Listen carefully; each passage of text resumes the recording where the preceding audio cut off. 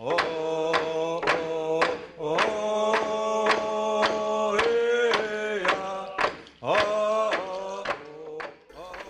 you to the house of Slanai.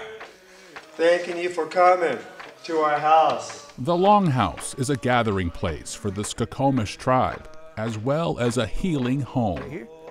This is a place where we bring to life spirits.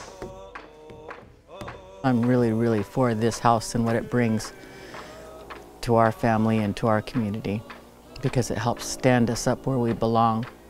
We can take care of ourselves and, and be prepared for anything. If the Spirit lives in this house, in prayers and traditions, in songs and shared rhythms, the architect making sure it's built right is Delbert Miller. We have somebody that still watches what all the other little roles are doing, you know, and so that neutral observer is somebody that our go-to guy, and um, somebody that has the kind and humble heart. Carrying a stew of seafood to share, Miller leads by example. He knows people are watching and learning. So show me, he says, don't tell me. He gets things done without having to use that aggressiveness. He gets things done because people want to be there. He gets things done because he lives by example and there's people following him. And I admire him very, very much.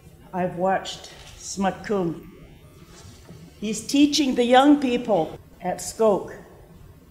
He's trying to instill some of his breath into them, just like his uncle shared his breath with all the Skokomish people. Delbert picked up and carried the role that Uncle left behind. And so he spent a lot of time in the longhouse with him in the Skokomish longhouse, um, listening and learning those ways. Delbert is the continuation of that thread, you know, that cultural fabric, the collective spirit.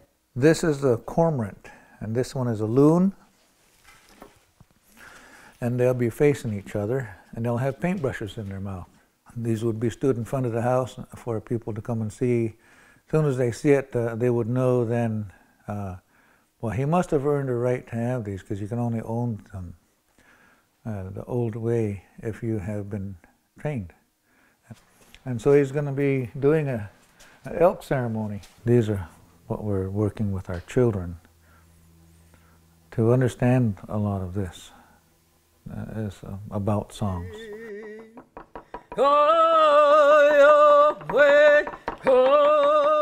That's what is so important about our culture, to be trained in this. Stuphastula, uh, what we call means to remember the ancient law, how to train the people, how to what are these laws, where the village sites were, the language, all of the ceremonies, the songs, the history, identity, family trees, Patya Aqua, Atishla Albid, means our family tree way, way, way back, the gifts that go along in the family.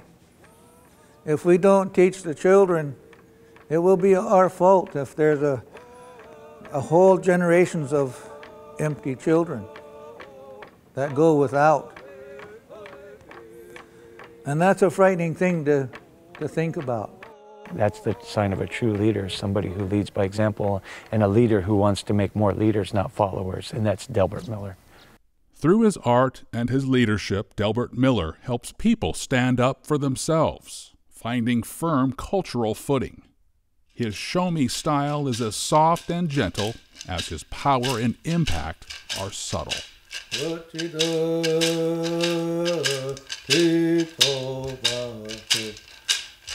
Great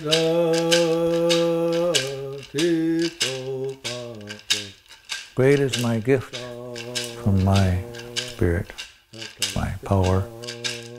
Great is my gift.